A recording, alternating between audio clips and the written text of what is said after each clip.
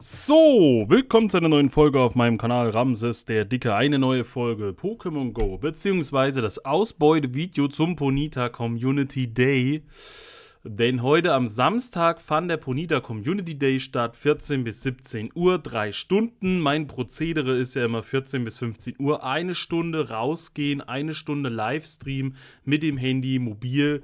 Ihr seid dabei, ihr könnt euch das nachträglich auf YouTube dann immer angucken, wenn ihr selber unterwegs wart. Aber für die, die keine Zeit haben, sich eine Stunde Livestream anzugucken oder den nicht geguckt haben, während er direkt live drauf war, verstehe ich eh nicht, wie man Zeit haben kann, den Stream zu verfolgen dann kann man doch gar nicht selber spielen. Ne?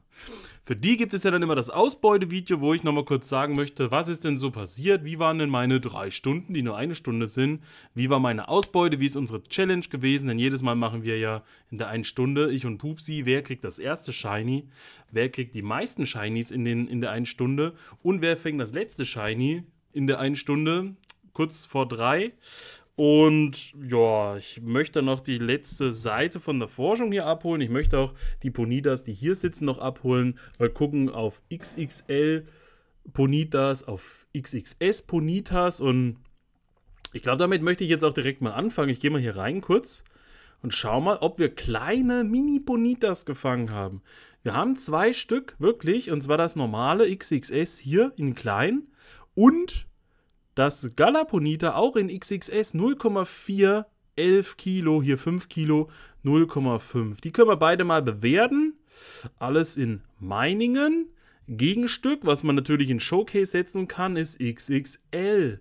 Da haben wir auch eins bekommen und guckt den Vergleich an, wie groß und fett und präsent das ist. Das ist schön wuchtig, das sieht gut aus. XXL 40 Kilo, 1,3 Meter. Im Vergleich jetzt also nochmal das kleine.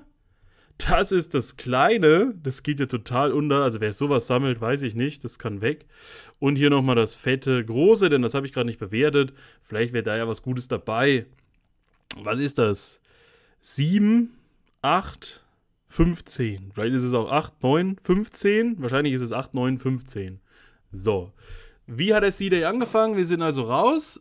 Jonas war dabei, Spaziergang. Es war natürlich wieder verkackt mit dem Stream. Ich habe den Stream wieder am Handy erstellt. Am PC habe ich den Titel und das Thumbnail ergänzt. Dann geht man raus, drückt beim Handy auf Start und dann überträgt das den Stream, das Spiel, was du eingestellt hast, das passt. Die letzten paar C-Days passt das einfach nicht mehr. Weil du stellst was Screencast ein, damit es weiß, du willst nicht deine Fresse screenen, du willst ein Screencast machen, wo du ein Spiel einstellst, damit es weiß, es macht eine Kamera, eine kleine Selfie-Kamera, wo man dich sieht und ansonsten filmt es deinen Bildschirm ab. Das passt auch die ganze Zeit. Selbst die Vorschau wird genau so angezeigt.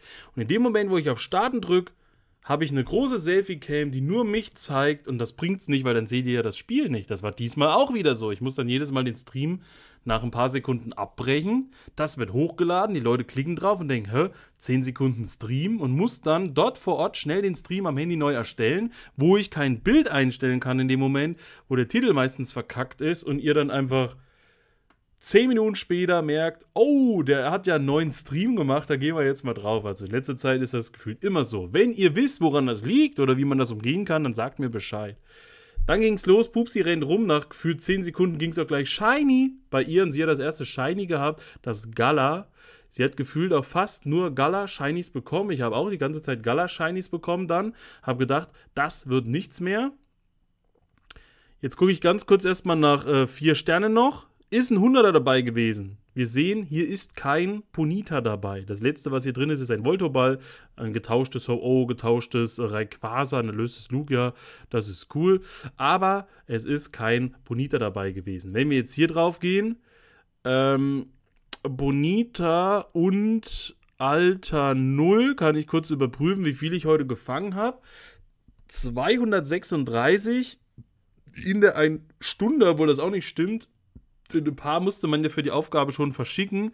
Und wir waren danach noch kurz Kaufland, nochmal diese Afterlife Thunder holen, wovon ihr heute Abend ein Video seht, denn die fand ich wirklich so gut, dass ich die nochmal gekauft habe und danach sogar nochmal gekauft habe und mir jetzt sogar ein ganzes Sixpack davon geholt habe. Anders als diese Electric Pepsi Blue Dings Kacke.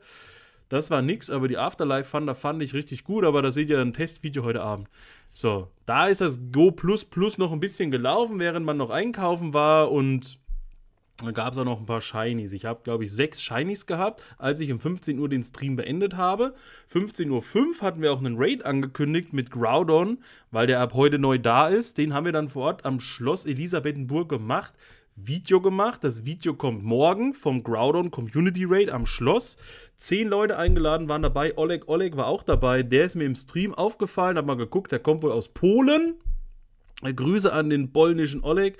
Ansonsten haben wir also 236 hier so drauf gehabt, wenn man mal guckt. Das kleinste, was wir haben, also die kleinsten Ponidas, die da sind, sind wohl die normalen. Und die größten, die wir haben, sind die Gala-Teile, weil die Gala-Teile höher kommen als die normalen oder wie? Oder Zufall. Guck mal, nach WP sortiert ist oben alles voll mit den Gala-Ponitas und die kleinsten sind alle die ganz normalen. Das geringste hier 260 und hier das geringste 20. So. Wie sieht's jetzt aber aus mit den Shinies? Wenn ich hier drauf gehe, mal auf Shinies und zuletzt gefangen. Ich hatte 1, 2, 3, 4, 5, 6 Stück am Ende des Streams und durch das Go Plus Plus unterwegs beim Einkaufen sind nochmal ein Gala, das hier, und die letzten vier Ponitas aus Kando dazugekommen. Die können wir jetzt kurz aber auch noch bewerten. Das war das erste, was ich. Nee. Hä?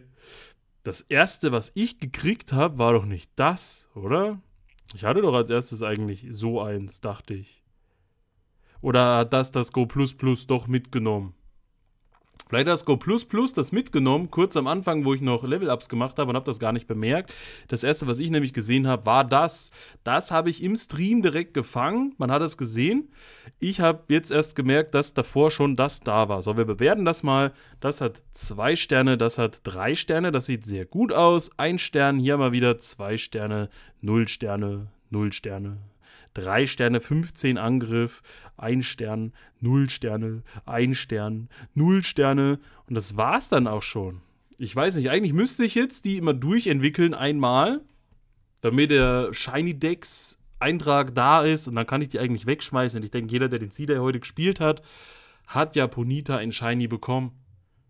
Glaube, wer heute nicht gespielt hat, der hat halt nicht gespielt, weil er keinen Bock hat. Und wer gespielt hat, der hat das alles bekommen. Das musst du also alles nicht aufheben, weil es einfach keinen Wert hat. So. Äh, hier kann ich jetzt noch was abholen. Vielleicht ist hier jetzt noch irgendwas drin. 709 steht hier drauf. Ich muss sowieso jetzt mal gucken. Ich habe hier ja noch etliches rumliegen bei mir. Das möchte ich noch alles abholen. Oh, 712. Ich hatte vorhin gesehen, ich hatte einen 705er und habe gesagt, es muss auf jeden Fall über 705 haben aus der Quest. Das hat 712, hat drei Sterne, ist aber auch immer noch schlecht. Und 709 aus der Quest, das können wir uns auch kurz angucken. 13, 13, 13 ist okay. Ich habe die letzte Seite von der Forschung aufgehoben. Danke nochmal an Henry Nicky, denn der hat mir wieder das C-Day-Ticket geschenkt. Auf der letzten Seite habe ich jetzt nochmal Bälle, Bären, eine Begegnung mit Gala Bonita 716. Das ist aber jetzt viel, oder? Und bestimmt noch einem ausgewachsenen. Hier drei Sonderbonbons. Danke dafür. Die fließen immer alle in Mewtwo. Ein Galoppa, ein ausgewachsenes. Guck mal, wie das leuchtet. Großartig. Auch mitgenommen. Ist auch drin. So, die zwei müssen wir jetzt auch kurz mal bewerten. 14, 14, 13. Und schlecht. So. Stromstoß. Ist das GBL relevant? Ich spiele keine GBL, also brauche ich das eigentlich auch nicht. Ähm, noch ganz kurz für euch, wenn ihr den Legios Raid Day gespielt habt, guckt mal bei euch in den Event-Tab oben links. Die, die das Legios-Ticket hatten für den Raid Day, haben eine Entschädigung bekommen, weil es am Ende bei den Boni ein paar Probleme gab. Die können sich hier also noch ein Sternstück, also zwei Sternstücke, zwei Sternstücke, zwei Glückseier, 5 XL Sonderbonbons abholen und drei Raid-Pässe, drei Premium-Raid-Pässe. Also das finde ich cool, so eine Entschädigung. Für die Leute, die von 17 bis 22 Uhr noch rumgemacht haben und noch irgendwas machen wollten, ich nicht, habe ich trotzdem jetzt eine Entschädigung bekommen und das finde ich cool. Also danke dafür nochmal. Und jetzt wollen wir das noch fangen, was hier ist, denn es ist jetzt alles weg. Wir haben bei Events alles abgeholt, wir haben bei heute alles abgeholt, wir haben bei Spezial alles abgeholt und jetzt gucken wir, ob wir hier direkt einen Live-Shiny noch zünden können, was wir dann ins Thumbnail reinarbeiten können. Deswegen fangen wir alles weg, was hier sitzt. Wird noch ein Shiny dabei sein? Wird es jetzt nochmal glitzern? Live? Wird es ein Gala sein? Wird es ein Kanto sein? Es bleibt spannend. Wir drücken überall mal drauf. Da ist es!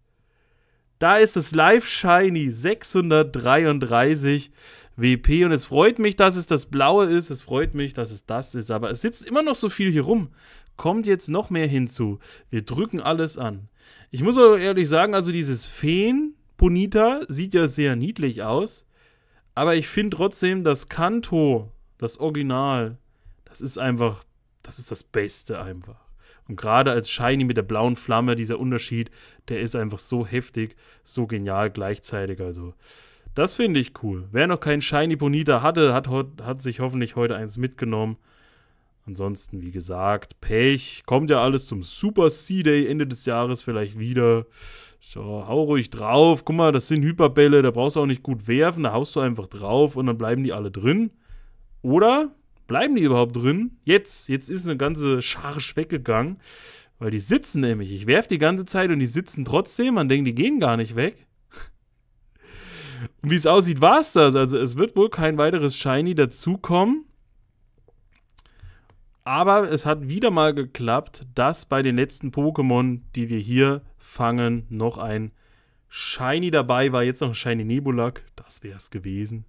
Ist nicht hör auf, mach jetzt doch keine Faxen. Und jetzt muss ich natürlich nochmal bewerten nach vier Sterne, um zu gucken. Vier Sterne. Hätte ja sein können, dass da jetzt noch ein viersterniges dabei ist. Ist aber nicht, also kein Hunderter, kein Hando. Das war's von meiner Seite aus. Schreibt's mal rein. Wie viele Shinies habt ihr heute bekommen? Jetzt muss ich nochmal nachgucken, weil ich jetzt wieder die, den Überblick verloren habe. 3, 6, 9, 12.